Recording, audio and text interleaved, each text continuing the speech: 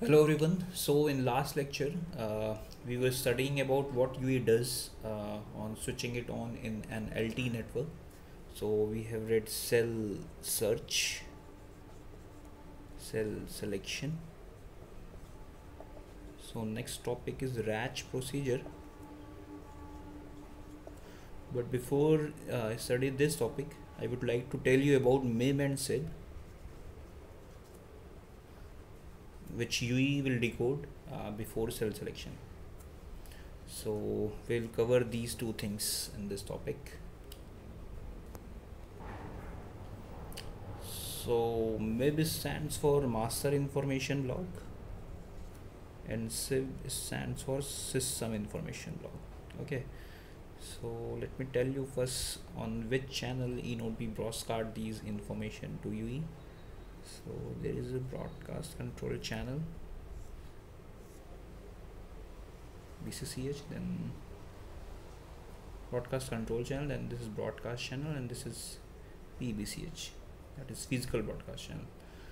And there is DLSCH channel that is downlink shared channel and there is PDSCH channel.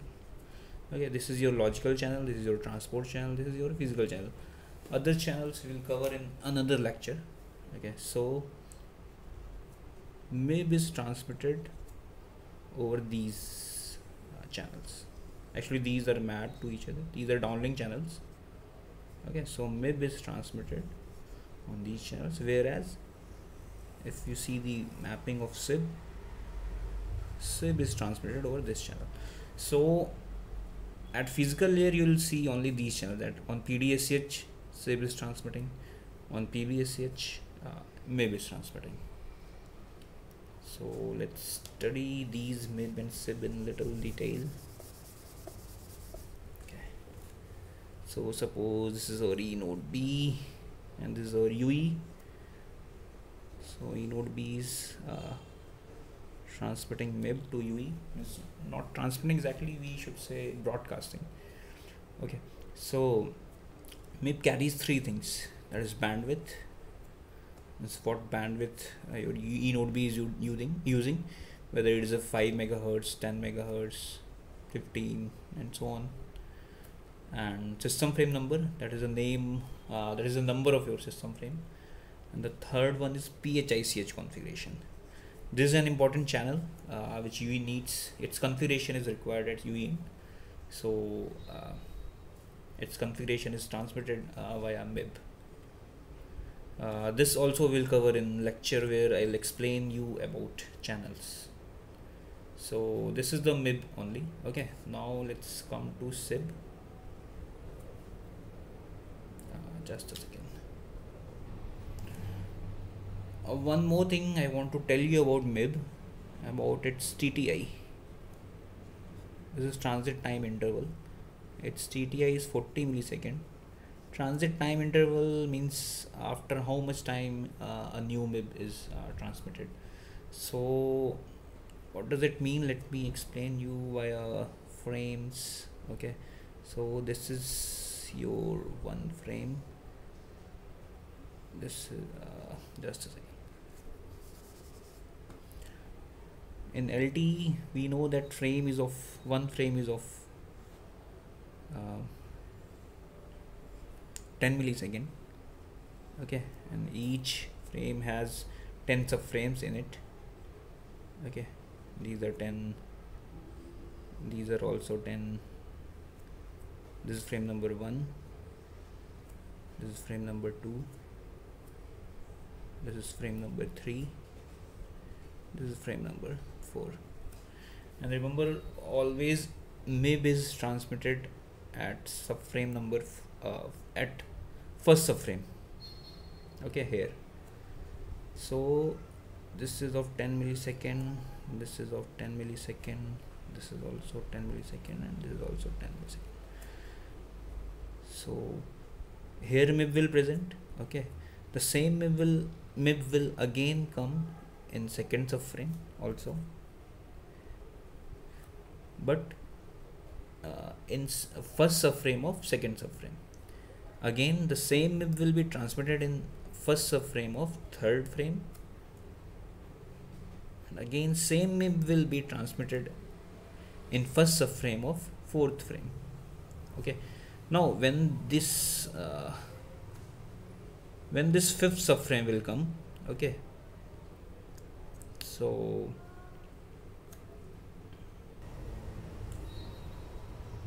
so when this fifth subframe will come so here a new MIB will be transmitted. Okay so after 10 10 10 10 that is 40 milliseconds a new MIB will be transmitted in fifth subframe sorry in fifth frame you can say. But remember always MIB is transmitted at first subframe of each frame. At first subframe of each LT frame you can say. Here like here here here okay so that's all with MIB. So now we start with SIB.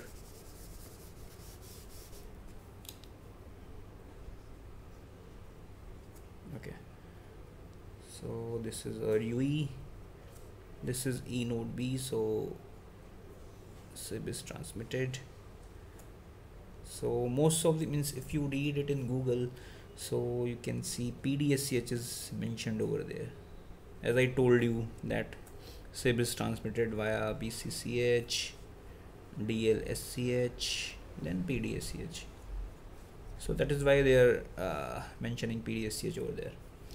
Okay so now uh, we will read SIs that is sorry IEs of SIB1 IEs I think you all know about IEs that is information elements. So SIB carries very important details so let me tell you one by one. Uh, first is cell selection information.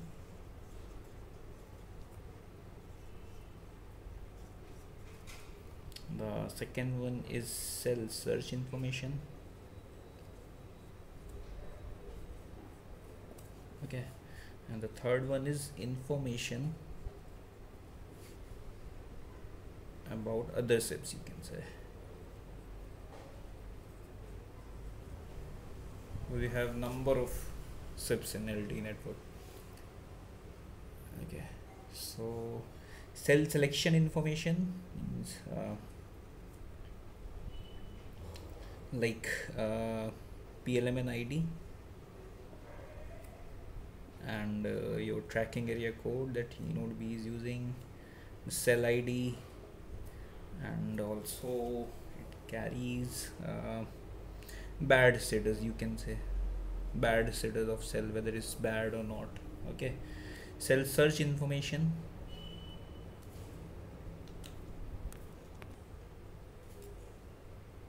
Sorry guys it's not cell selection information. It's cell access information. Okay and it's not cell search information. It's cell selection information. Okay so cell selection IEs are Q R X lev min this is the minimum RSRP required to UE to uh, attach to a, to an LT cell. And Pmax. this is the maximum power that UE will use uh, to communicate with eNode B. Okay. And information of, about SIBs other SIBs means uh, it will tell the scheduling information scheduling info of other of other SIBs okay? And uh, it will also tell the periodicity of other SIBs other SIBs one thing I would like to tell you uh, that uh, the TTI of SIB1 is of 80 millisecond okay and uh, the other SIBs they don't have fixed uh, periodicity. So this periodicity of other SIBs means other than SIB1 okay other than SIB1 uh, is also uh, configured by or uh, informed by SIB1 okay. So now I'm going to tell you about what how TTI works here for um, uh, means for SIB1 that is 18 millisecond so here I have uh, I have write down means uh, I have made I have made eight subframes you can say one two three four five six seven eight. So uh, in each means uh, SIB1 is transmitted at fifth subframe okay? This is the fifth subframe fifth subframe of first frame and within means uh, you can say means after 80 milliseconds you can say as TTI is 80 millisecond after 80 milliseconds because this is 10 this is 10 this is 10 this is 10 this is 10 so till here till 8th frame means after 80 millisecond a new SIB1 will be transmitted. It's like uh, we studied about MIB okay? But in this duration of 80 millisecond the same SIB1 is repeated. But the but this repetition of SIB1 will have uh, means gap of 20 millisecond like this. Means alternative means uh, in alternate subframes in alternate frames of fifth subframe these SIB1 will be transmitted so you can say after 20 millisecond same SIB1 is transmitted. Again after 20 millisecond. Okay? But once it completes it a cycle of 80 millisecond a new SIB1 will be transmitted.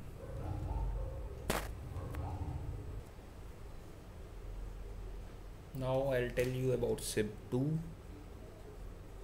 guys one thing you can uh, uh, note down that MIB SIB1 and SIB2 these are mandatory means you have to decode them at means uh, these are mandatory information you can say. Means every time you have to decode these three informations. And others uh, SIBs are means uh, are optional you can say. Means it depend what kind of configuration you have in your network. So SIB2 what what it carries let me tell you like means like other UEs like other SIBs it is transmitted on PDSCH SIB2 and the I that it carries uh, I'm, I'm telling you the important IEs only. So it carries one most important thing that is PRACH configuration. This is used uh, at the time of random access procedure means uh, you decode this information and only then uh, RACH can be uh, used by UE. So this we will study in detail uh, while studying random access procedure and uh, along with this UE also carries information about paging like paging occasion paging frame. These details I'll also explain another lecture about paging. Okay. If you want to read it now you can google these two terms paging occasion paging frame. Okay. So this is SIB2 now there are a lot of SIBs in our LTE network. So like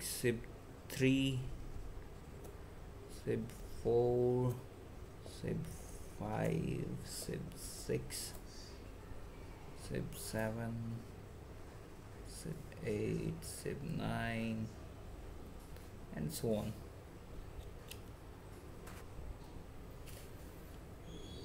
So these are the SIBs. Okay so guys one thing uh, you can I would like to tell you that uh, SIBs handle the mobility also.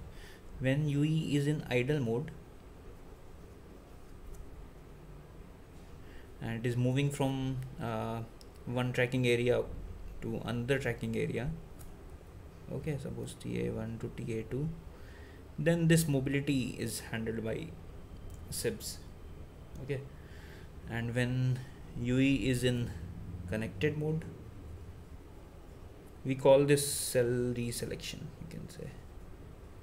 Cell reselection. And when UE is in connected mode means some call is ongoing and UE is moving from tracking area 1 to tracking area 2 then this mobility is handled by handovers.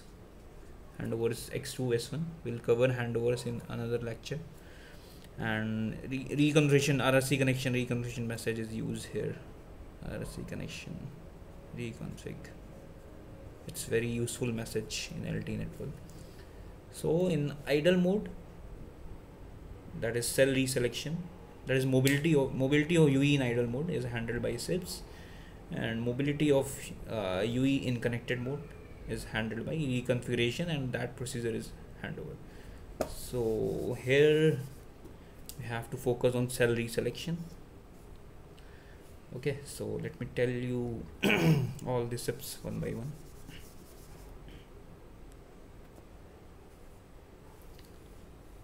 So SIB3 carries uh, cell reselection info cell reselection info of neighboring cells you can say neighboring cells which is common which is common um,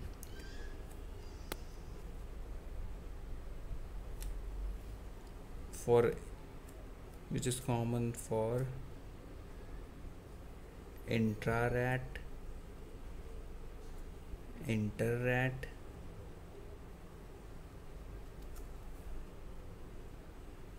and uh, that is ah, just a second. Guys it's better to tell you about what kind of cell selection we have. Cell reselection means before reading these SIBs it's better to get info about type of cell reselection. Okay. So these are intra frequency you can say intra LT frequency cell selection. The another one is inter LT frequency. Okay. And the third one is inter rat frequency cell reselection so these three types of cell reselection we have in LT network. Inter LT frequency inter LT frequency and inter rat frequency.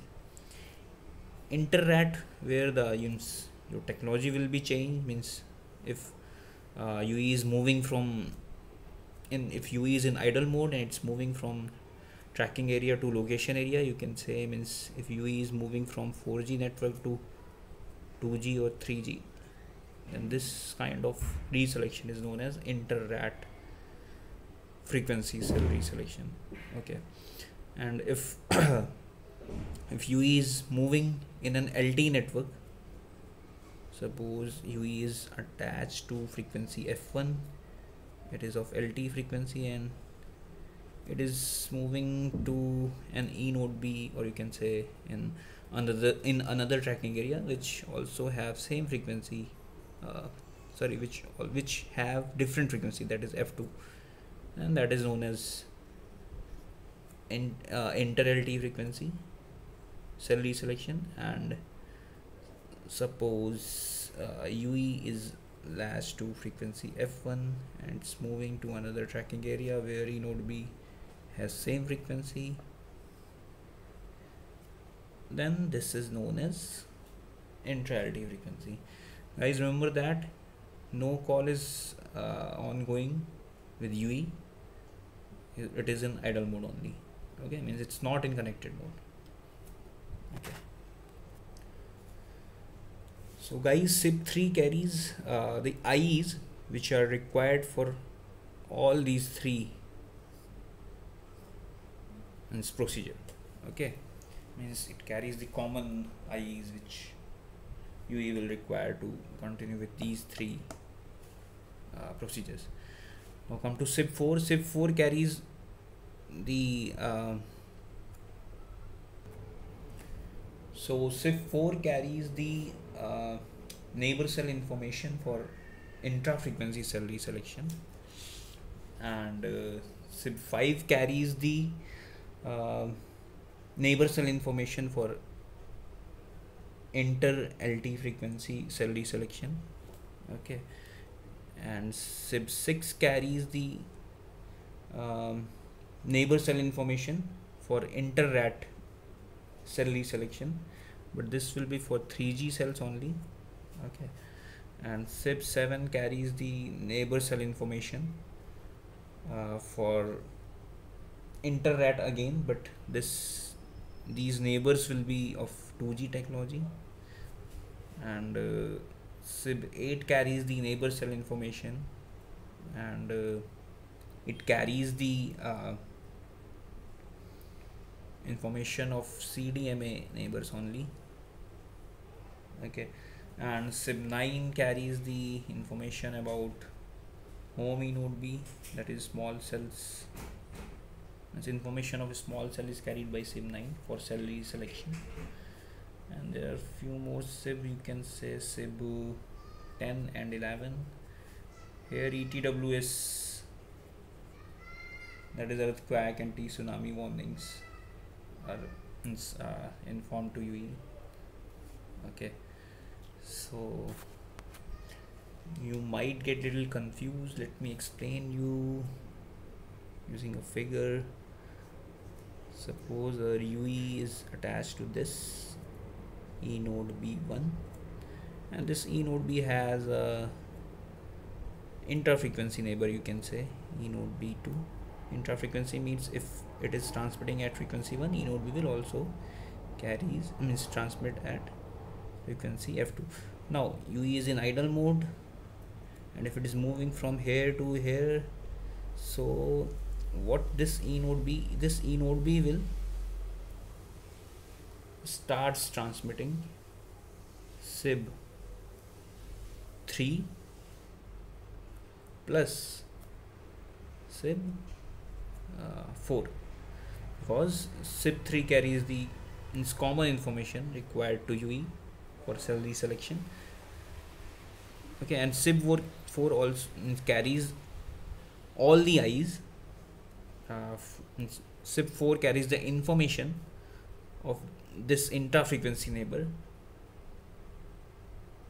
to this UE for cell reselection now guys again if suppose UE is attached to this E node B1 it is transmitting at F1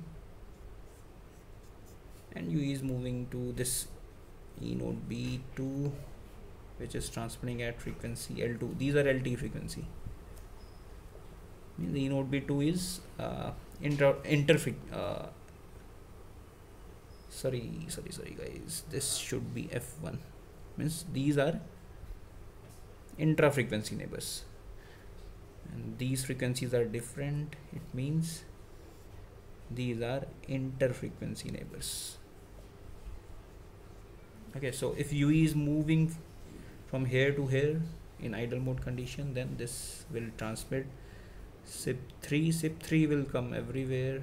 Okay SIB3 along with SIB5 as I have already told you that SIB5 will carry the neighboring information means all the information which UE needs to reselect this cell will be carried by SIB5 I think this makes uh, things very clear. Okay. Now take another example e node b1 it's transmitting at frequency 1 ue is attached to this ue uh, to this e node b and ue is moving to moving towards this 3g cell. Okay this is 3g cell which is transmitting at suppose at 3 frequency. So this e node b1 will transmit SIB3 or it's it will be everywhere along with SIB uh, 6 and this SIB 6 will carry all the information about this neighbor. And it will be transmitted to UE which will be helpful to UE to reselect this 3 cell. So guys this is all about MIB and SIB. And we'll read RACH after this lecture. Okay thank you